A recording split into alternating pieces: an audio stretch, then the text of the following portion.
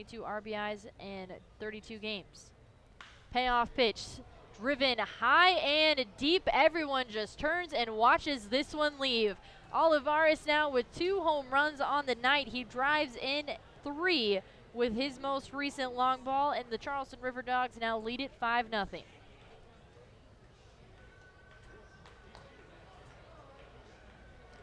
And that one was up and over.